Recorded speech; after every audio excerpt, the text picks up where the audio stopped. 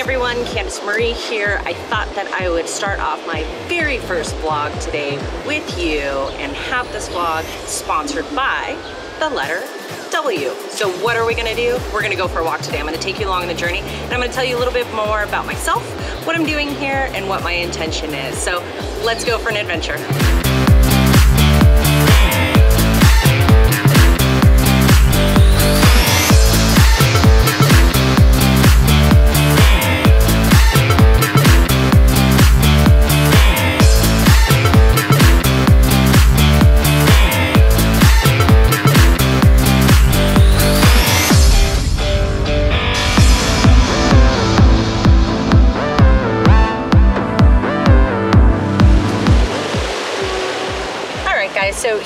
First stop on our walk this morning. Um, we have some beautiful statues that we're gonna come across and I thought this would be great opportunities to stop, talk to you more, kind of show you some of the local art and tell you a little bit more about me. So one of the things you're probably wondering is who are you?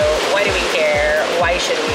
Well, you'll have to answer those questions for yourself for the most part, but I can tell you who I am.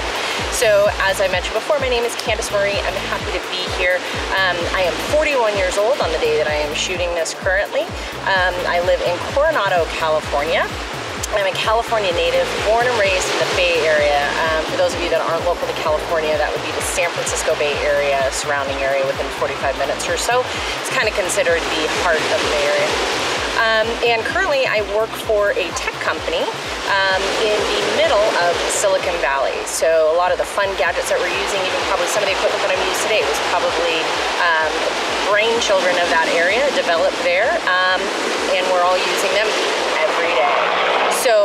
That's kind of who I am in a nutshell. Um, I'm married, I guess I should mention that. That's pretty important. I'm just over being a newlywed, so just over a year now. Um, was lucky enough to get married to my best friend after many, many years of searching. Finally found my lobster, as. So let's leave that there. Let's go for a little bit more of our walk and we'll stop and we'll talk about the next W in our series today. See you in a minute.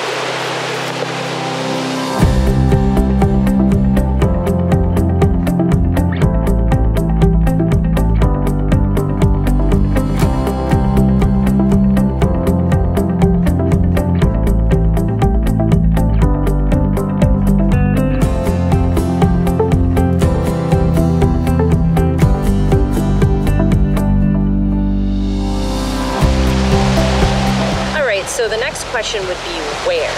Where am I? If you're not familiar, if you haven't been here before, then you probably aren't picking up on some of the subtle clues that are here. I wouldn't have known before being here, um, so don't feel alone in that. Uh, but I am in Puerto Vallarta, Mexico.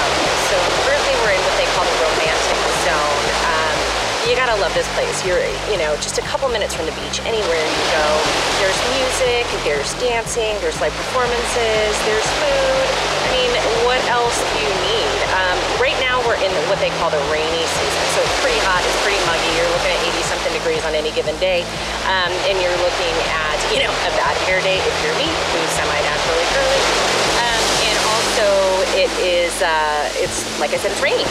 So at night, you're generally gonna get a pretty good thunder and lightning storm, which is pretty awesome. It's that hot tropical rain, so I am living and breathing most days by my dry quick athletic wear, so regardless of whether I'm running around or not. But that's kind of Puerto Vallarta in a nutshell. So let's keep going with our walk.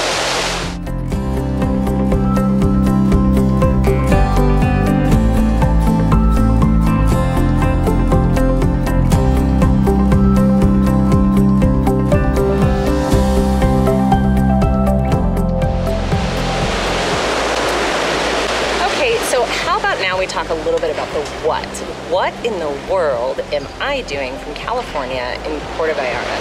Well, that's a little bit of an interesting story. Am I here on vacation? No. Um, is it a great place to vacation? I believe that it is.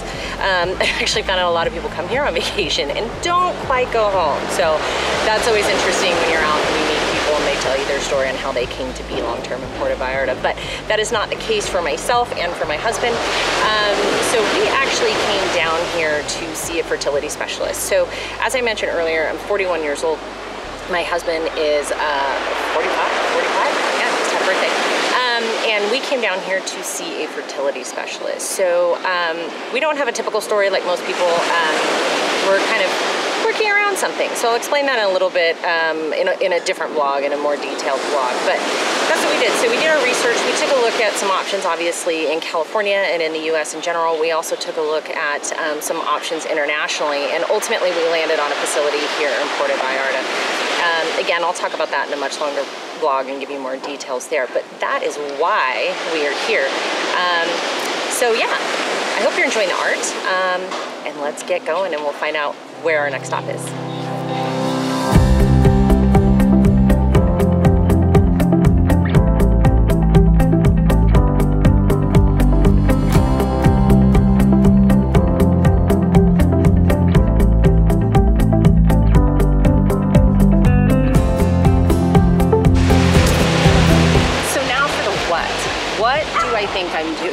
On YouTube and what do I think people are going to think by watching the vlogs that I make? Well, I don't really know, to be honest with you. Um, but what I'm hoping for is I'm hoping that by listening to my story, um, coming along this journey with me, that folks will find something that resonates with them. Um, let's face it, with social media, with all the technology that we have, technically we're so connected.